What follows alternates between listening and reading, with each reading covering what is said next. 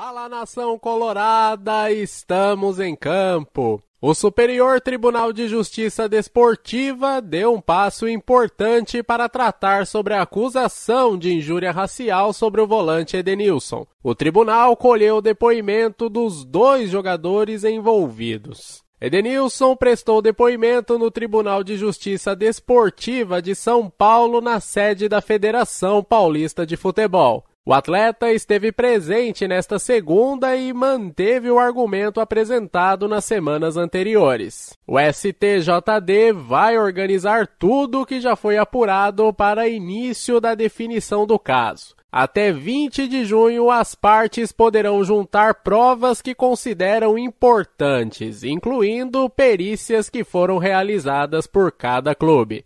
O relator do caso, Paulo Feus, acredita que o caso não deve levar mais que 30 dias para ser solucionado. Estamos com duas versões, dos dois atletas, que merecem ser respeitadas. Nossa obrigação é apurar a verdade. A escolha de quem fará essa perícia já está sendo feita, pois será a perícia oficial e temos que escolher com cuidado. O caso merece esse cuidado e a sociedade também. A fase de inquérito temos um prazo de 30 dias para encerrar. Acredito que possa passar um pouco, mas não muito. O tempo vai depender do perito. Acho que até o final do mês a gente encerre essa fase, afirmou o relator. Claro que estamos ligados nos desdobramentos e qualquer fato novo vamos acompanhar tanto por aqui quanto em nosso site. Então fiquem ligados. E para mais detalhes sobre essa notícia e outros fatos sobre o Clube do Povo, acesse já o portal do Colorado. Link na descrição.